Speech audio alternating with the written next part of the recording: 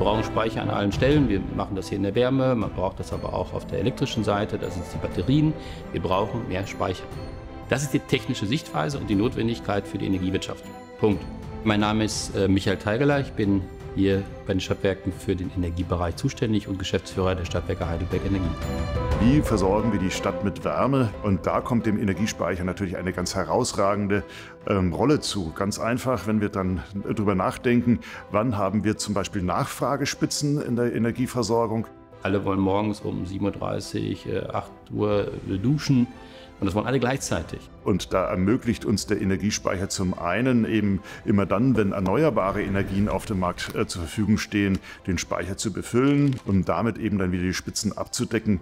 Mein Name ist Jürgen Otschuk. Ich bin seit 2016 erster Bürgermeister in der Stadt Heidelberg und damit gehen die Funktionen einher äh, des Baudezernates. Das heißt eigentlich alles, was so die technischen Bereiche sind, was Planen, Bauen, Umsetzen angeht. Ja, Jürgen, wir haben eine neue Energiequelle für den, äh, für den Wärmespeicher äh, ja. für Ende des Jahres. Wenn wir so einen Energiespeicher haben, das ist ja, der steht ja an der Stelle eines früheren Gaskessels, äh, dann ist das natürlich ein erheblich großes Bauwerk. Es ist auch ein erheblich hohes Bauwerk.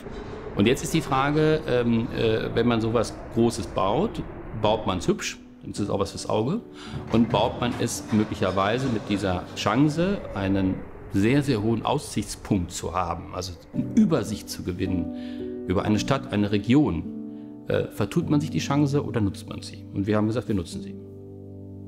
Also Größe und Volumen äh, war nicht zu verändern, aber die Frage war eben, wie kann man das so gestalten, dass es eben ein, möglichst eine Bereicherung für unser Stadtbild ist. Und äh, da muss ich sagen, ähm, war ich auch ein bisschen stolz auf unser Stadtwerk, dass die gesagt haben, wir scheuen da keine Kosten und Mühe, wir machen einen interdisziplinären Wettbewerb, also aus Ingenieuren und Architekten und versuchen damit eben ein kleines Juwel dem Stadtbild hinzuzufügen. Wenn man bei uns äh, schaut, wenn wir kommunizieren äh, und dann sieht man unsere Markenkampagne und dann steht da drauf für dich. Also nicht für mich, sondern für dich. Also für die anderen, also für die Menschen. Ja, und somit äh, ist das ja eigentlich unser, unsere Kernaufgabe als, ähm, als lokaler Energieversorger schlechthin. Für was, machen, für was machen wir das denn Ganze? Für die Menschen, also für dich. Ja, mein Name ist Udo Eisenacher und ich bin erster Vorsitzender des Stadtteilvereins Pfaffengrund. Es soll eine Gastronomie geben auf dem ähm, Energiespeicher.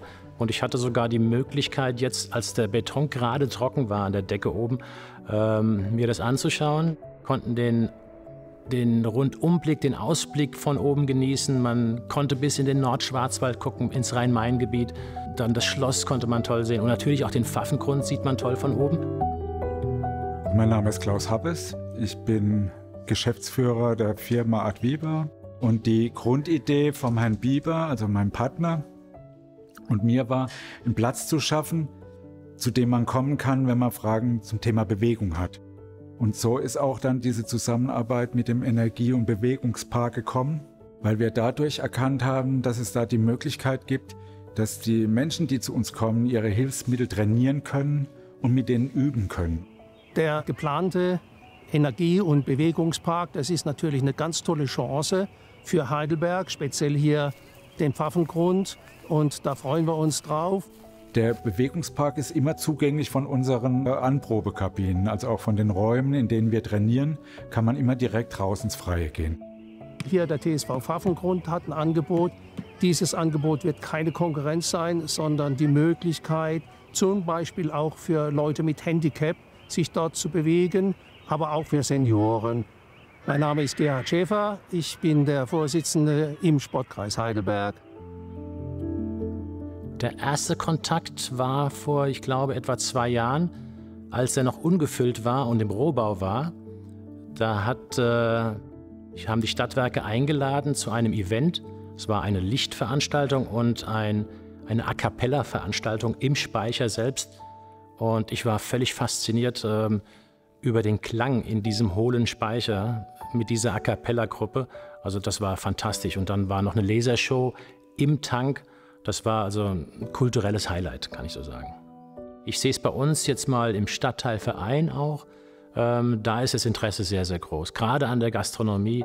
Diese Verbindung ähm, als vielleicht neues Wahrzeichen, das ist etwas, ähm, worauf wir uns alle sehr freuen hier im Pfaffengrund.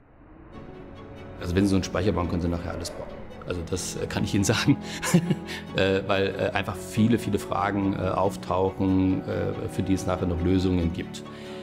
Also deswegen sehr spannend, ein bisschen, spann bisschen weniger spannend an mancher Stelle wäre auch ganz gut gewesen. Es ist aber immer so äh, im Nachhinein, aber ich bin super froh, dass es jetzt auch äh, wirklich auf die Zielgerade geht und äh, dass es nachher auch ähm, so wird, wie man sich das vorgestellt hat. Also ähm, Dinge entstehen ja immer zweimal im Leben. Also einmal im Gedanken, in der Vorstellung und einmal dann in der Realität.